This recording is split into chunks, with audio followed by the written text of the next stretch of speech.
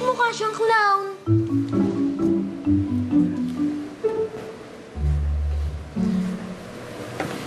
Princess baby, why are you wearing makeup? Eh, gusto ko po kasi maging pretty for you eh. Baby, pretty ka na. Hindi mo na kailangan mag-makeup. And you're way too young to wear makeup. Sino ba nagturo sa'yo mag-makeup?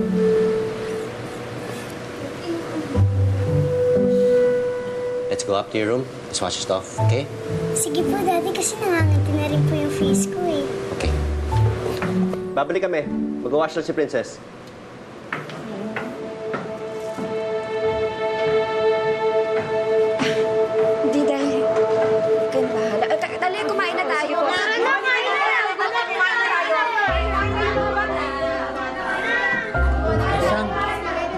Nag-makeup kay Princess? Opo, kasi sabi niya po may kapan ko daw po siya para pagdating daw po ng daddy niya, maganda daw po siya. Okay lang yan. Well, gaya nga ng pinangako ko, no? Makukuha niyo yung produkto dun sa oras na napagkasunduan natin. Ah, Sir Luis, So, sumama na po ako. Teka muna. Thank you. Hey, um, Joey, kung mabuti na lang nandito ka. Bakit po?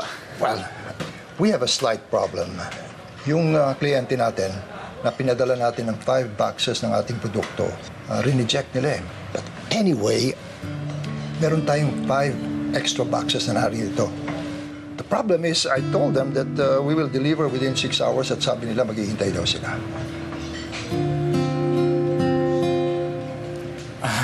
Saan ho ba dadalhin? Sa Batangas Pier. Dalawang oras po biyaran, di ba? Yes, but um, don't worry. I will, uh, I will make it worth your time. At uh, yung OT pay mo, I will double it. Joey, we are in a jam. Pagka hindi natin na-deliver itong produkto na ito, lahat na nakuha na nilang mga gamit natin, they will not pay us. In fact, ay mumultahan pa tayo. That's why we have to deliver. Sige, boss. Wow! you are a gift from heaven, Joey. Ah, ah, ayusin ko yung boxes, ha?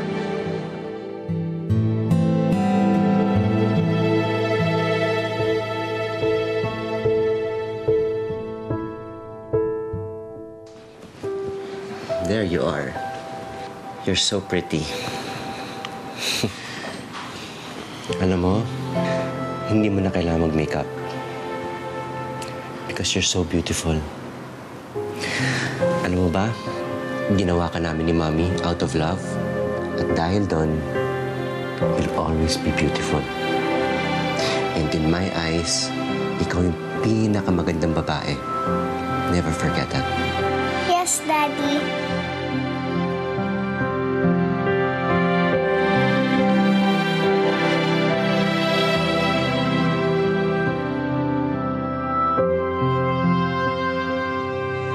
Barbecue! Kawawa naman si Princess, ano? Nagpa-makeup para daw maganda sa harap ng ama niya. Baka kasi nagsiselo si Princess doon sa anak ni Ian. Eh kasi, yung batang yun, yun ang lumaki kasama si Ian. Talaga? Baka si inimbitan ni Ma'am Lala yun. Kasi naman tong si Ate Lala, lahat kayang tiisin alang-alang kay Princess. Eh, Siyempre naman, baka Mars, kahit pa balik-balik-talin mo ang planet Earth, siya pa rin ang father ni Princess. Oo, wala tayong magagawa, di ba? Ah, mga madam. Ay, Lolo Pogi! Ay, huwag niya man mamasamain, no? Pero sana, huwag na muna natin pag-usapan yung mga bagay na yan. Ay, Pakisamahan lang natin si Ian ngayon. Alang-alang kay Princess, birthday niya naman, di ba? Correct, correct po. Tama kayo dyan.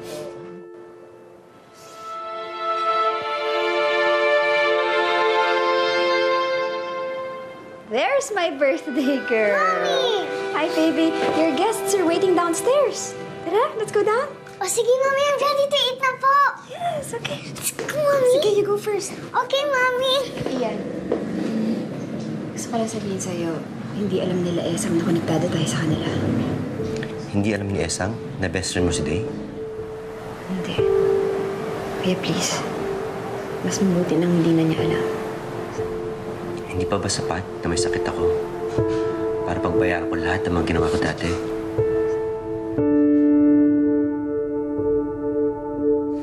let's go daw na kasi naghihintay po dun sa baba yung mga guests eh. Mami, let's go na. Ah, sige, City, let's go. Come on. Ay, wait, let's figure hair muna. Para maganda, di ba? Okay, Mami, let's go na. Let's go, Daddy.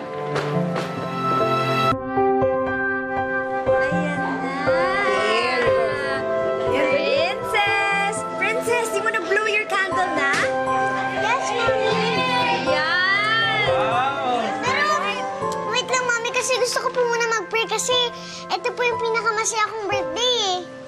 Ay, ano. Sige, sige. Sige, go. Papa Jesus, thank you po sa birthday na to. Para po sa akin, ito po yung pinaka-special na birthday ko. Kasi po nandito po si Daddy. Tsaka thank you rin po sa mga pumunta dito. Tsaka thank you rin po sa mga may mahal sa akin. Lalo-lalo na po, thank you po kay Esang sa best friend ko po. Thank you po sa iyo, Papa God.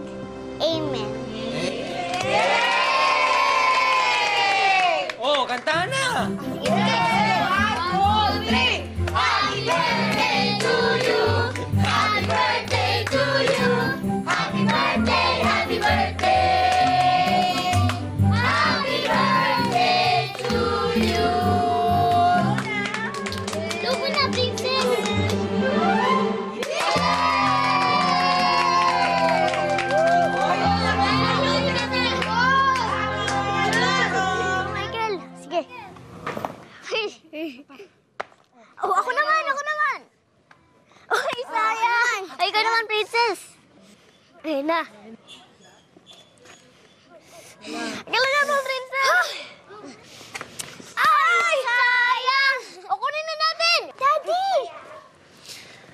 Princess, you're gonna get your feet really dirty. And why are you playing this game? This game's for boys. Ay, hindi po. Mahilig po talaga kami maglaro ni Princess ng ganito. Tsaka po yung langit lupa. Eh, alam niyo po ba yun? Kasi po minsan, naglalaro po kami nun kasama po si Tita Mommy eh. Gusto niyo po sumali? Hindi ako pwede sumali. Bawal ako mapagod. Kayo na lang. Esang, sinabi ko na sa'yo na bawal mapagod si Daddy? Ay, oo nga po pala. Pasensya na po. Laro na tayo. Oh, sige, sige. Oo, oh, palayo. Oo, ako yung una, ako yung una. sige, sige. Okay, tara. Laro na tayo.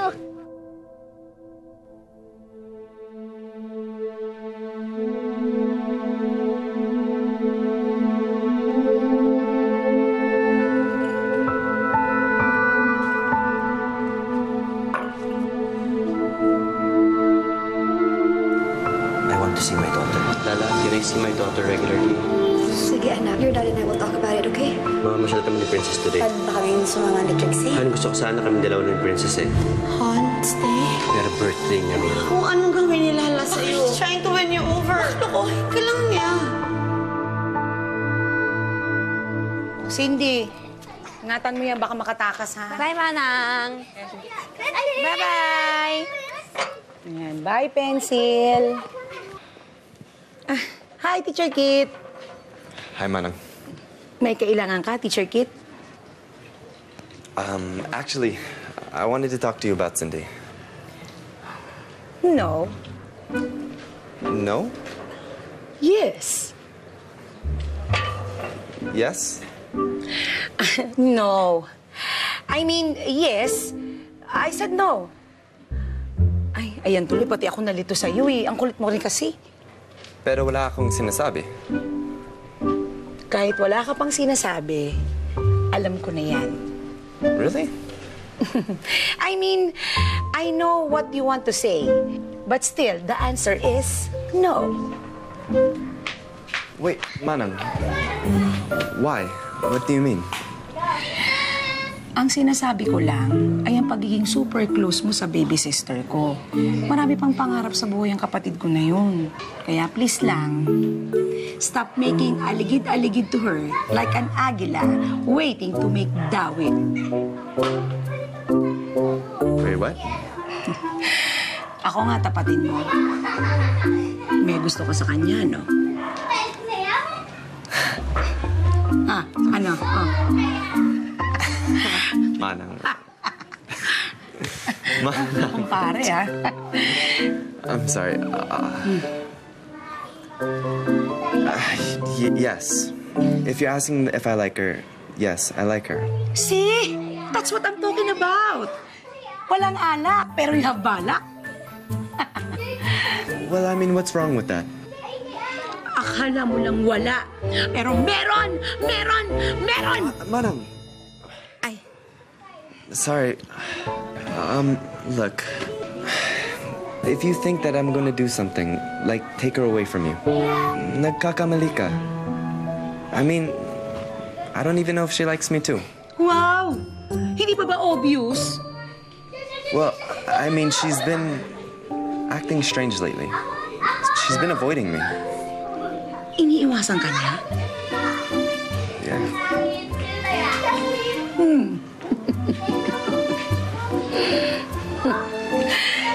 Hindi ka niya gusto. Wait, Manang. Wait, why? What do you mean? Eh, friendly lang siya nung una. Pero ngayon, huwag ka nang umasa. Di ka niya gusto.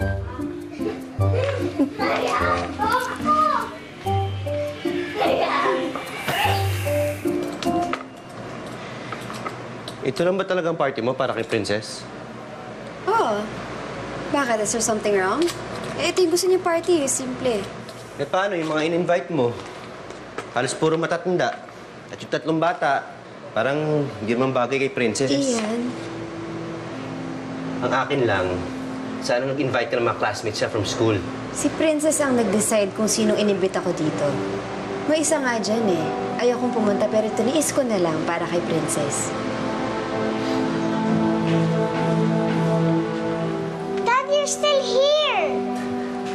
Of course, baby. I'm waiting for you. Daddy, pwede niyo po ba akong itak sa bed? Para makatulog din po ako. Please, Daddy. Please. Sige na, please. Baby?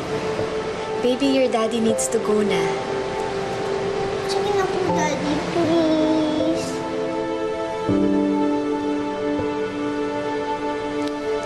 Sure, baby. I'll tuck you in. Yay! Let's go!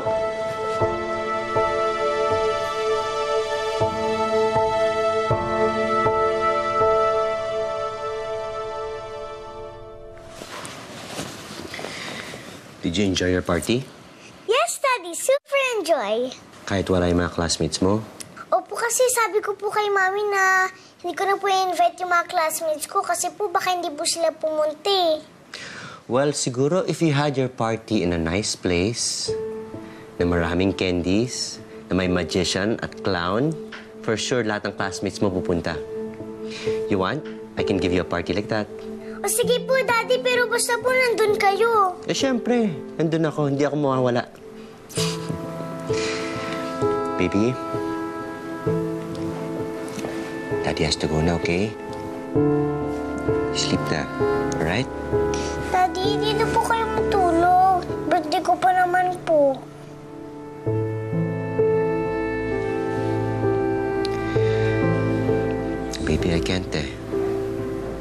This is not my home.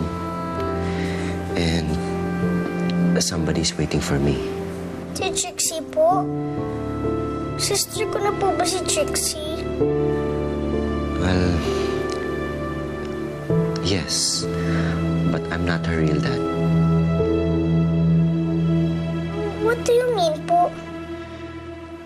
Trixie's real dad left her and her mom nung hindi pa siya pinapanganak. Kaya ako na lang yung naging daddy niya. Iniwan si Trixie ng daddy niya, tapos kayo po, iniwan niyo rin po ako. Bakit po nang iiwan yung mga daddy?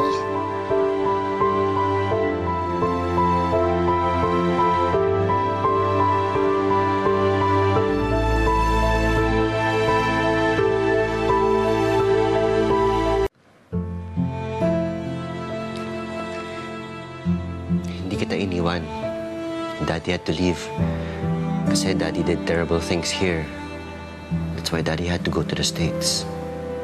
When daddy was in the States, that's where I met Tita Isa. Iniwan silang dalawa ng daddy ni Trixie. Kaya tinanong sa akin ni Tita Isa kung pwede akong maging daddy ni Trixie. Naawa ko kay Trixie, kaya pumayag ako. Everyday na inalaga ko si Trixie.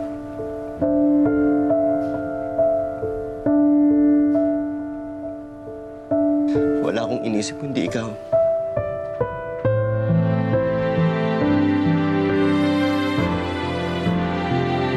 Kung kamusta ka na, kung anong ginagawa mo, kung maayos pa kalagayan mo. Eight years akong nawala. Pero eight years ko rin pinagsisihan. Nawala ako sa tabi mo.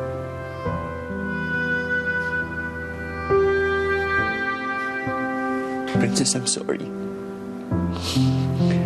I'm sorry for leaving you. But I'm here now. Hindi na ako mawawala. All those years, ikaw lang ang nasa puso ko.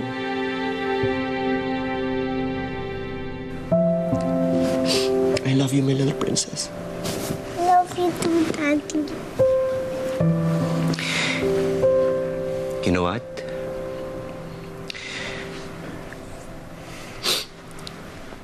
I will stay here until you fall asleep. Gusto mo ba yan?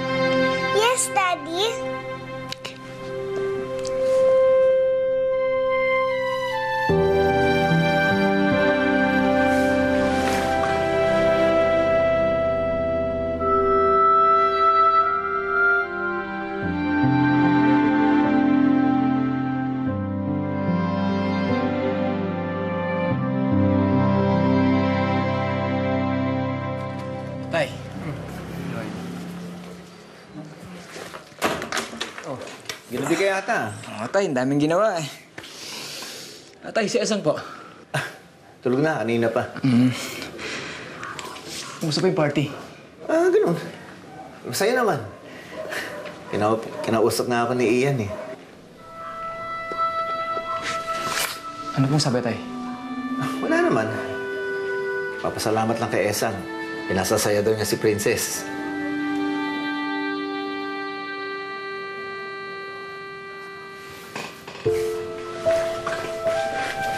Alam mo, Joey, kinamayan pa nga ako eh.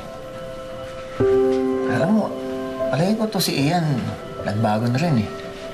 Kasi ngayon ko na siya nakitang ganun, eh, nagpakumbaba. Siguro dahil na rin dahil may sakit siya. Kaya nagpapakabait na.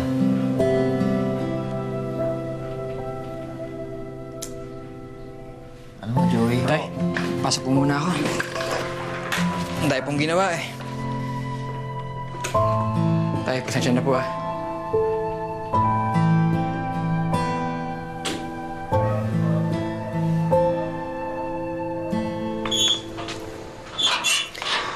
So, kailan mo gustong gawin yung birthday party ni Princess?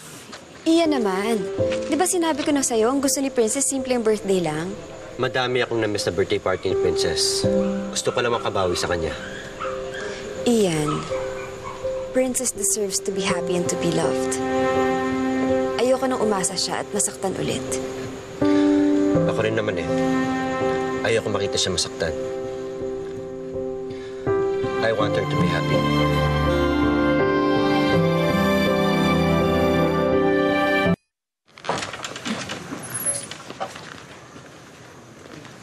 Joey, Ah, Lala. Pasensya na, gabi na, nabala pa kita. ako okay lang. Ah, pupunta dapat ako, kaya lang, nagkaroon ng emergency sa shop eh. At ito pala, ah, sabi ni Esang, kailangan daw bagising ni Princess. Makita niyo ito regalo. Thank you. Oh, sige na, gabi na. Joey, kanina kasi si... si Ian. Um, kausap niya Tito Pogi. Um, oo. Nakwentuhan ni Lolo Pogi. Nagkapasalamat lang daw kay Esang dahil pinapasaya si Princess. Sige na. Joey, okay pa rin naman tayo, di ba? Ha? Oo naman.